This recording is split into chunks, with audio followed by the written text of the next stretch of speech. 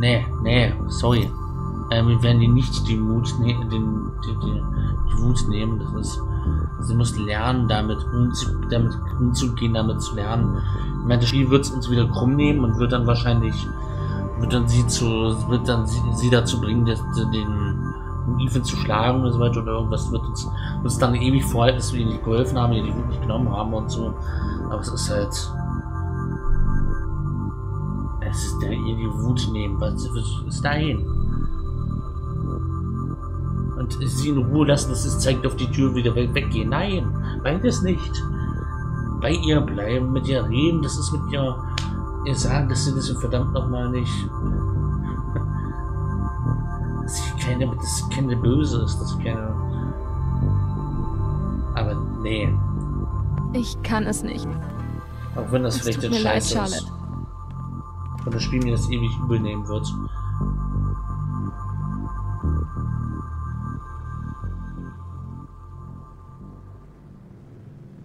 Jetzt wird es dran sterben. Sie beruhigen, genau. Du bist stark. Du packst genau das. das. Naja, wir werden sehen. Ein Wehrspiel. Jetzt komm. Ich weiß, Life is Strange und Logik und Videospiel und Logik ist immer nicht so unbedingt vereinbar, aber das ist nicht irgendwie ganz drin, aber gerade bei Life is Strange und ähnlichen Spielen.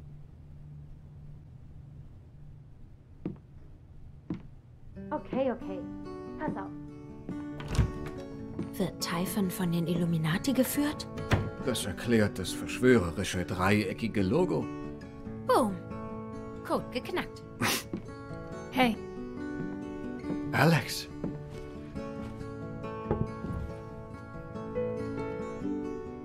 Und? Wie lief die Sache mit Charlotte?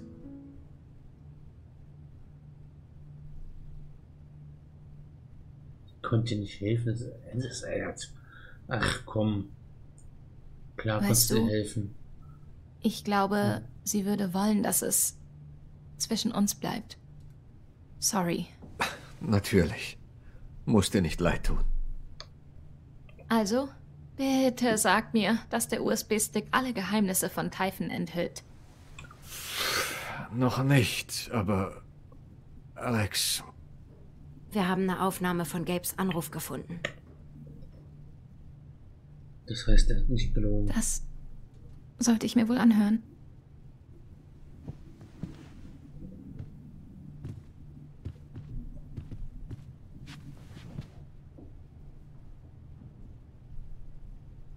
Ich muss es wissen. Wir sind für dich da. Okay?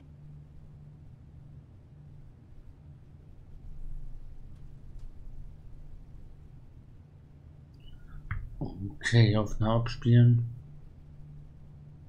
Die beiden gucken mir zu. Oh Gott. Ich kann nichts anderes machen, als die Aufnahme abspielen. Ich muss es wissen. Also muss ich mir diesen Anruf anhören. Na komm, auf geht's. Sicherheitsdienst. Mac, ich bin's. Mac. Fick dich, Chen. Ja, okay, hör einfach zu. Du musst unbedingt Das heißt, die er hat Explosion abblasen. Ethan ist im Sprengungsradius. Scheiße. Er könnte dabei draufgehen. Was zum Teufel stimmt nicht mit euch? Er hat sich davongeschlichen. Wir sind jetzt hier oben und versuchen ihn zu finden. Mac, bitte. Okay, ich bin dran. Wir stoppen die Sprengungen. Fuck. Du Hm. hast keine Ahnung, wie tief ich deshalb in der Scheiße sitze. Danke, Mac. Spar dir das. Ich mache nur meinen Job. Holy shit. Sie haben ihn ignoriert. Das ist echt abgefuckt. Aber Du das weißt, heißt, dass es übel ist, wenn Max sich als der Gute herausstellt. Ich meine, das war ja eh schon klar. Dass, Alles okay? Dass er nicht der Böse ist und dass er, dass er gelogen hat. Wir machen diese Wichser fertig.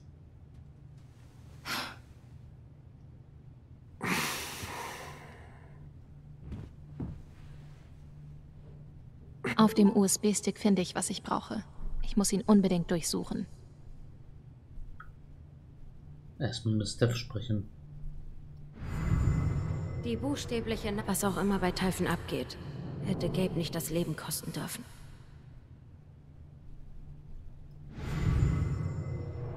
Wir werden sie drankriegen. Für dich, Gabe. Also. Wie gefickt sind wir? Falls wir es nicht selbst rauskriegen, kann ich Diane die Wahrheit auch mit meinem Charme entlocken. Oh, glaubst du das wirklich? Äh, ja? Du warst doch live dabei, oder?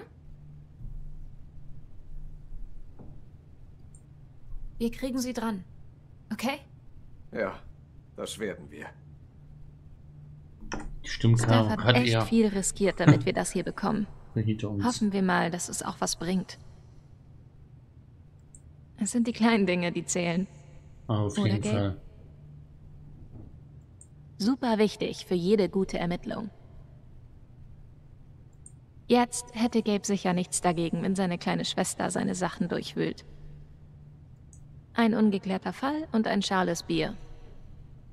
Die hat Ryan aus der Station mitgebracht. Hoffentlich kann ich sie jetzt gebrauchen. Mhm. Typhon Pit. Old Mill und Processing. Okay. Danke, dass du so offen zu mir bist. Na dann benutzen Gabes es. Anruf kam um 20.41 Uhr vom Satellitentelefon. Ich sollte mir den nächsten Anruf anhören und sehen, was ich rausfinden kann. Mhm. Finde raus, was nach Gabes Anruf um 20.41 Uhr passierte. 15.14 Uhr.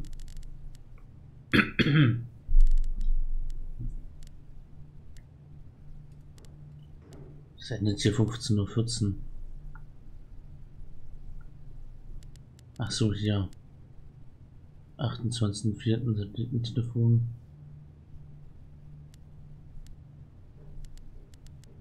ACFC hier? Wie können wir Ihren Hunger stillen? Läuft die schicke Chicken-Gutscheinaktion noch? Aber sicher doch. Cool. Dann hätte ich gern eine bestimmt- große Portion Spicy Nuggets. Hm?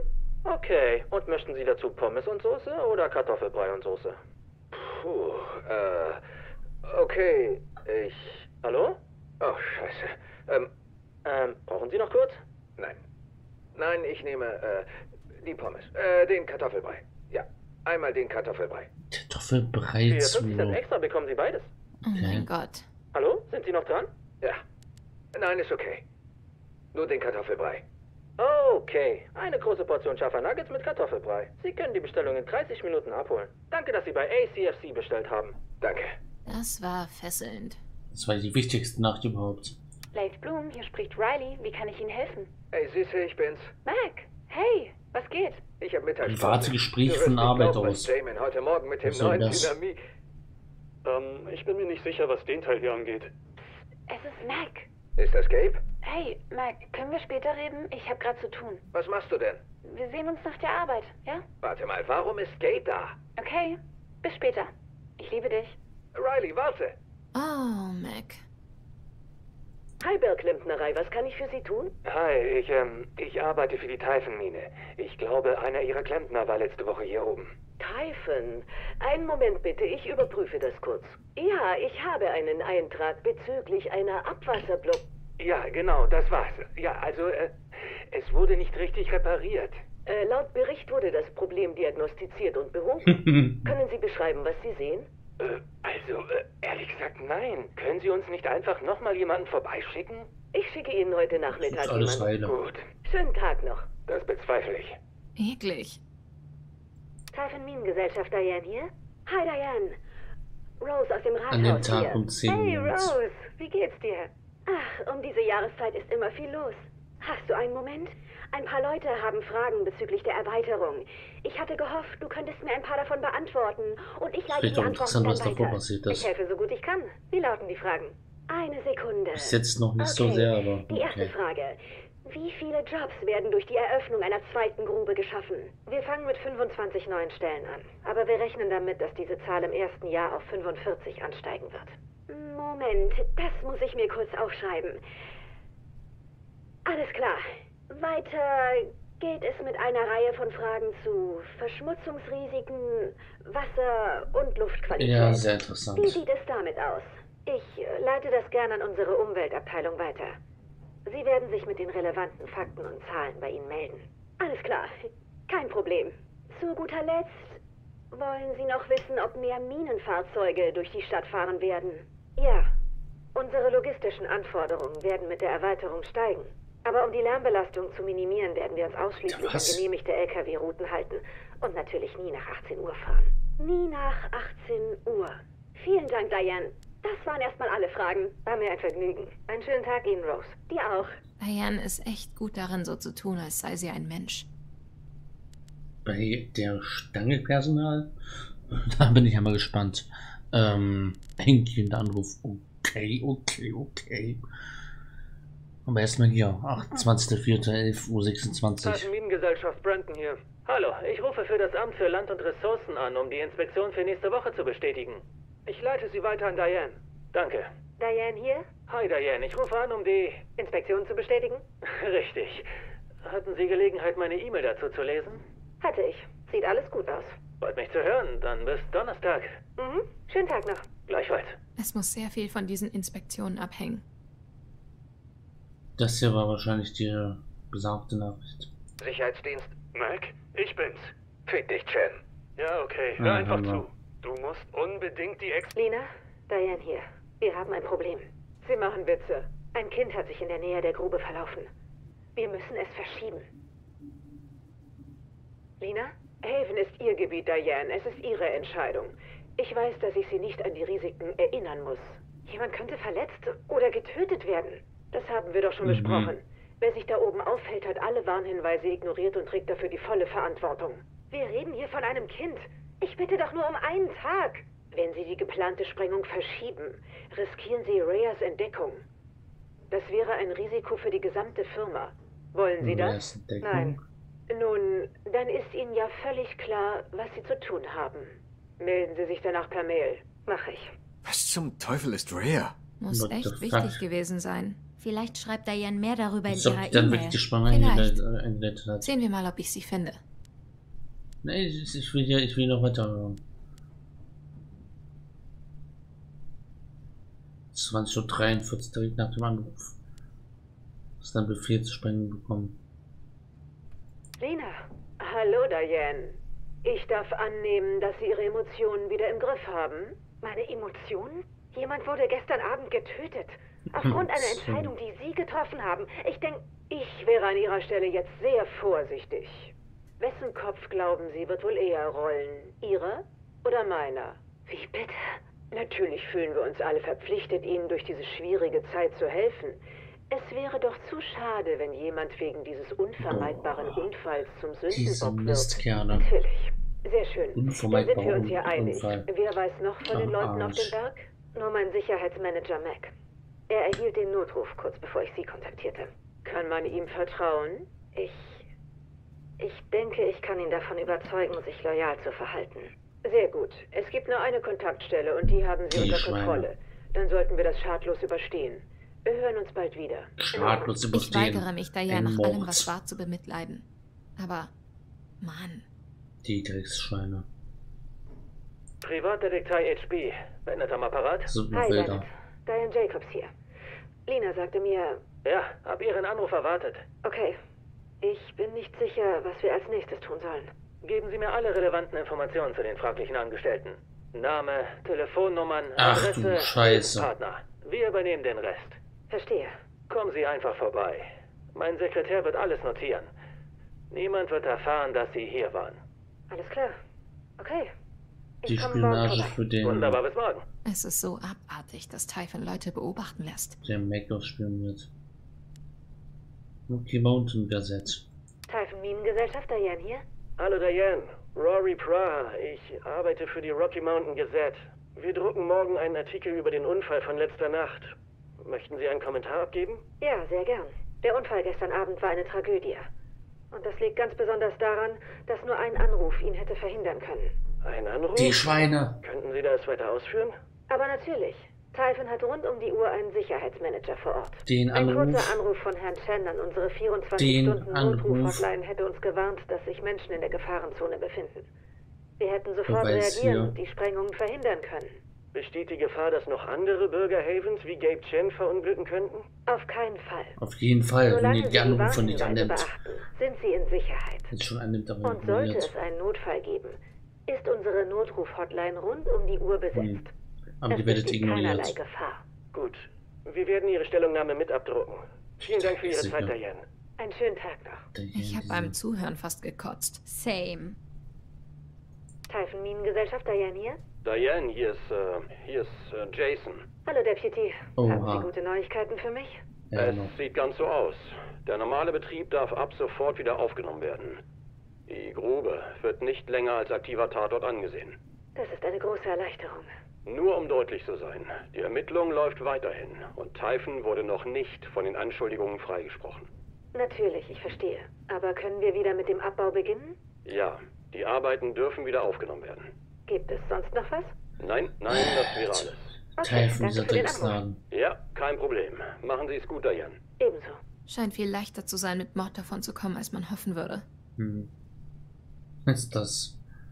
Ist das ulkigste wahrscheinlich. Typhon Mining? Diane? Oh, hey Joe. Wie geht's? Gut, richtig gut. Ich habe hier eine? Liste mit vielversprechenden Kandidaten, die wir besprechen könnten. Es sind etwa 40 Namen. Gute Arbeit. Wann können wir die Liste durchgehen? Ähm, also. Diane, kann ich ganz offen sein? Immer. Naja, wir haben alle die Nachrichten verfolgt und Ich meine, sorry, dass Also ich nach da an sowas denke. Joe, Ich das so ich will mich bloß vergewissern, dass es wirklich Stellen gibt, die auf diese Leute warten. Mach dir bitte keine Sorgen. Wenn du qualifizierte Kandidaten für mich hast, habe ich Jobs, die ich ihnen anbieten kann. Gut zu hören. Wie sieht es Dienstagnachmittag aus? Um drei? Klar. Großartig. Dann bis bald. Bis später, Joe. Hoffentlich zahlt Typhon eine nette Abfindung. Was genau war, ist jetzt bei. Okay, scheint irgendwie ein. Scheint irgendwie äh, nicht so wirklich das, was ich erwartet habe zu sein. Irgendwie scheint irgendwie so eine Art. Psychologebund zu sein, irgendwie, wenn, wenn ich das richtig sehe. Das ist halt. Okay, E-Mails. 28. hier. Da müssen wir gucken. Von diesen Inspektionen scheint echt viel abzuhängen.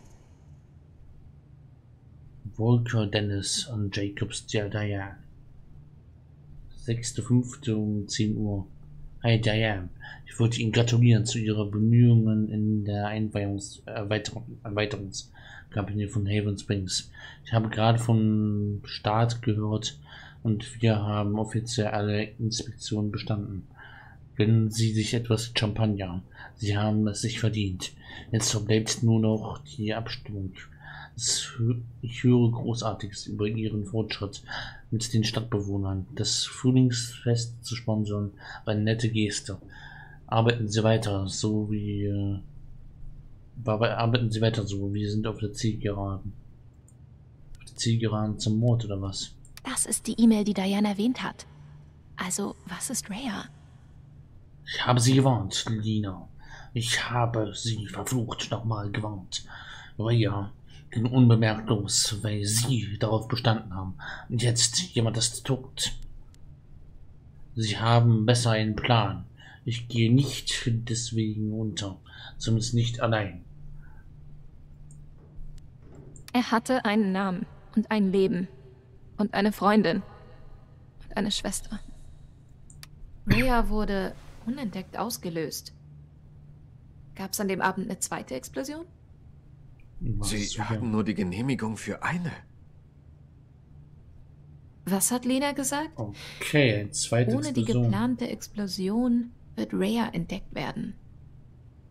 Die zweite Explosion wird Fuck. entdeckt. Die Explosion, die Gabe getötet hat, sollte nur von einer anderen ablenken?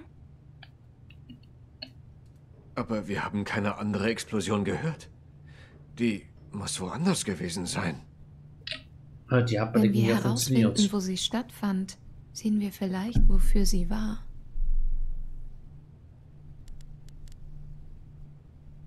Wo war eine zweite Explosion? Rhea das ist Rhea. Scheiße. Diese Karte ist zu klein, um zu sehen, wo es ist. Ich brauche eine Karte. Da ist eine Karte. Da war der Typhon-Mineneinsturz von 2008. Moment. Die wollten mit einer Explosion in ihrer neuen Mine eine zweite in der alten übertönen? In dem Schacht wurde schon vor Jahren alles abgetragen. Da gab es nichts mehr. Vielleicht Was ja könnte doch. dort unten nur so wichtig sein? Typhons alte Stätte musste doch vor kurzem ein paar Mal inspiziert werden. Oder? Was, wenn sie da was Ja, und? wollten?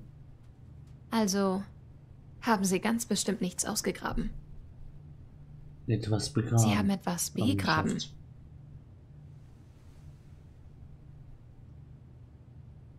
Etwas, was lange verdeckt war und jetzt verdeckt bleiben sollte. Oh. Kapitel abgeschlossen. X hat Steph gewählt, um Diane abzulenken. 58%. 42 haben Ryan gewählt. Ah, hier bin ich in der Minderheit gewesen. X hat Charlotte's Wut gelassen. Und die meisten haben eigentlich äh, Charlotte ihre Wut genommen. Also ist, ich habe mir, habe mir gesagt, nee, das, die müssen wir, die muss damit klarkommen. Ich hoffe, das hat jetzt keine, wirklich, das hat jetzt keine dramatischen Folgen, dass wir der, dass wir die Wut nicht genommen haben. Ex hat Diane wütend gemacht. Okay. Ex hat Diane traurig gemacht, um 75%. Okay. Ex hat Kings of Lion angehört, Lion angehört. Sugar Pile Wild hätten wir uns anhören können. Jetzt hat sich Mariana Lives äh, hat sich kein Pandas abgespielt. Okay, die meisten haben sich Sugar Pie Wild angehört. Oh. Wir haben kein Unkraut gejätet. Das wird, das wird dramatische Folgen haben. Alex, Ethan und Alex gingen im Kampf nie K.O. Das, ist- das, das ist ja auch mit den Schriftrollen, die wir hatten, was ehrlich gesagt ziemlich, ziemlich schwer, da K.O. zu gehen. Ich meine, wir hatten genug Zeug, das war, das war da, das war jetzt, hm. 0% Ethan ging im Kampf K.O., Alex ging im Kampf K.O. Okay. 0%, 1%, 3% das. Da musste schon wirklich keine Kampf, keine Rolle einsetzen und so weiter. Das ist schon.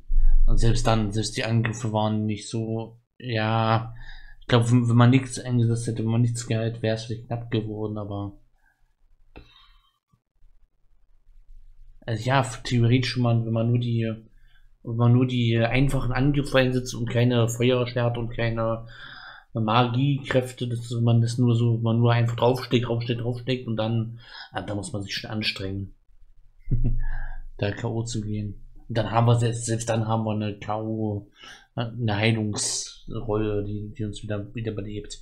Es war eigentlich, das, das Lab war jetzt nicht dazu da, um wirklich einen ernsthaften Kampf darzustellen, um ernsthafte Kämpfe darzustellen. Das war jetzt wirklich nur für die Unterhaltung, um halt wirklich mit dem Ethan Spaß zu haben ein echtes Lab mit wirklich, mit, mit wirklich echten Punkten, mit echtes Roleplay, wo es halt wirklich um Leben und Tod geben, das wäre härter gewesen. Hätten wir nicht so viele Rollen, nicht so viele Heilungen, nicht so viele, wäre es nicht so leicht gewesen, den, den Bossgegner zu besiegen.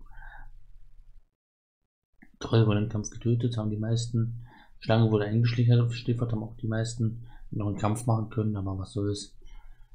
Steph hat Alex geholfen, Typhons Pläne herauszufinden. Oh, Steph ist aus der Wohnung gestürmt. Das gab es auch noch eine Option. Okay, das ist sehr gut. Haben wir einen guten Weg genommen. König Tabo wurde im finalen Kampf besiegt. 100%. König Tabo schwor für seine Rache zurückzukehren. 100%. Okay, Wiley weiß nichts von Enonos Krankheit. Aber die meisten auch. Hat von der Demenz erfahren. Es hat der Studentin geholfen, sich kurz zu konzentrieren. Das ließ ja genau. Hm. Aber gut geschafft. Ex und Ethan haben das Rätsel des Narren gelöst. Ja. 45% haben es nicht gemacht. Und hier habe ich auch Alex und Ethan haben dem Schmied bei seiner Arbeit geholfen. Ja, es war jetzt nicht so schwer. muss man schon sagen. Die Rätsel und die, äh, die Kämpfe bei dem, das war jetzt nicht darauf ausgelegt, irgendwie schwierig zu sein oder irgendwie äh, ein ernsthaftes Abenteuer zu bringen, sondern es war jetzt einfach, ja, es war um den, um den Ethan, was am Ende dann doch nicht geklappt hat, um Ethan wieder glücklich zu machen und da ein bisschen Spaß zu haben. Das war jetzt nicht wirklich, äh, wenn du wirklich jemanden, wenn du wirklich ein ernsthaftes Abenteuer machen willst, dann wäre das anders gegangen. So, nächstes Kapitel, machen wir weiter. Würde ich sagen. Kapitel 4 müsste es sein. Auf geht's, nächstes Kapitel. Kapitel 4 Flacker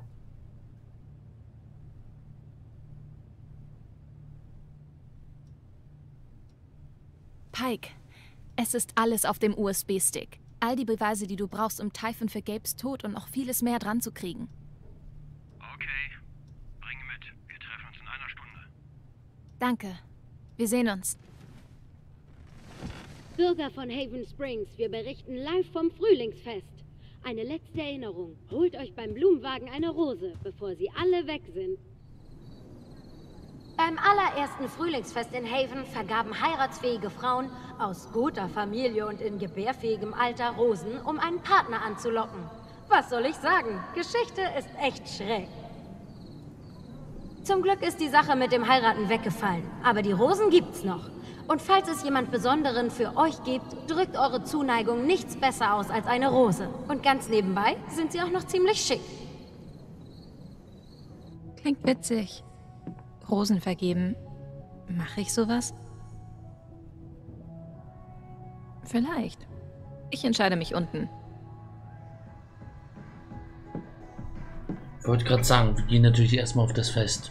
Erstmal schnappe ich mir den USB-Stick. Ich glaube, das wird der perfekte Afterparty-Snack. Okay. Ich wünschte, ich hätte Charlotte helfen können. Doch ihren Schmerz zu nehmen fühlte sich nicht richtig an. Ja, und du hast dir geholfen, denke ich. Der Tradition zufolge schenkt man seinem Schwarm auf dem Frühlingsfest Rosen, also... Ich habe noch nie von einem Mädchen Blumen bekommen. Tut mir leid, ich wusste nicht, wie viel dir an traditionellen Geschlechterrollen liegt. Ich gehe dann wieder zu meinem Butterfass und den Zierdeckchen. Klappe. Du zuerst. Ich habe da ja andere Pläne, aber gut. Ihr wisst Bescheid. Ihr wisst Bescheid, was ich für Pläne habe. Erstmal schnappe ich mir den USB-Stick. Die Musik klingt ja schon mal sehr hübsch. Wo ist denn der verdammte USB-Stick?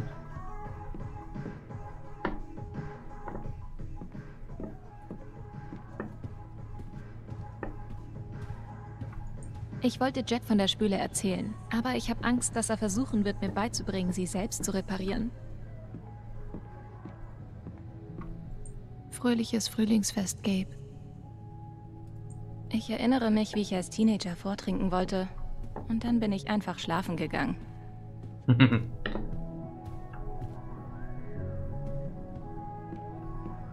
Wo ist der Stick? Ach, da ist er. Was ist mit dem Schlüssel, den ich gefunden habe? Vielleicht öffnet er das Schloss. Okay, Zeit nach unten zu gehen. Oh, neue Nachrichten.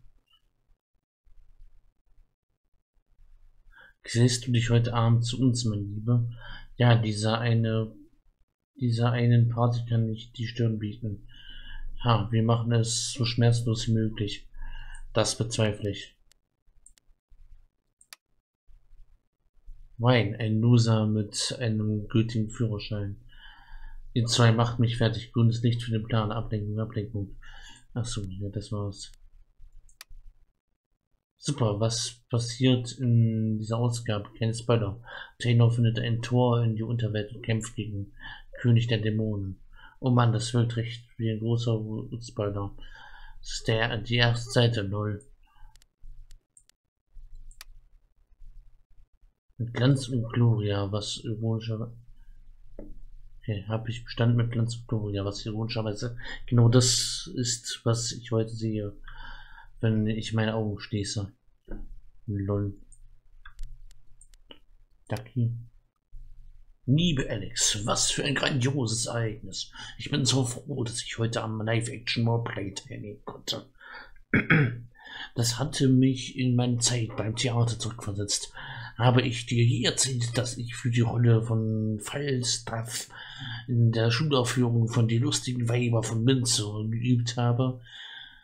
Mit genug flüssiger Motivation erinnere ich mich vielleicht an ein paar Zeilen und denke, dass du mich in die Festlichkeit einbezogen hast. Es ist schön, mich mal abzulenken. Genieße dein erstes Frühlingsfest. Ich kann mich noch an Mainz erinnern. So klar wie der helle Tag. Mit freundlichen Grüßen, Mike Cannister, der Dritte. Danke, Ducky, du warst echt wundervoll.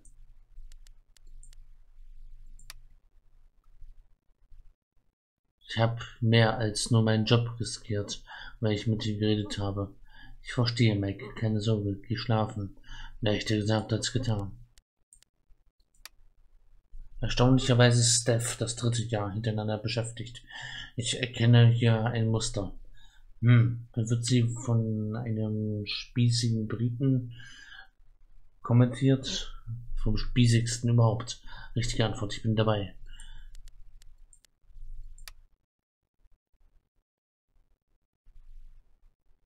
Alter, danke, du hast es voll drauf. Preisverdächtiges Badenmaterial. Danke, du warst auch unglaublich, weißt du? Ach was. Du verdienst die Wahrheit. Typhon versteckt offensichtlich was. Mac hat immer noch Todesangst vor ihnen. Ich bin jedenfalls im Laden, falls du irgendwas brauchst. Ich weiß es wirklich zu schätzen.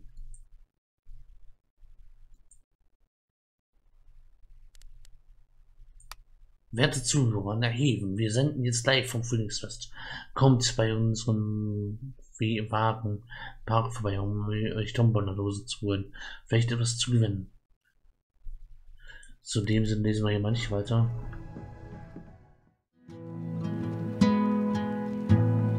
Musik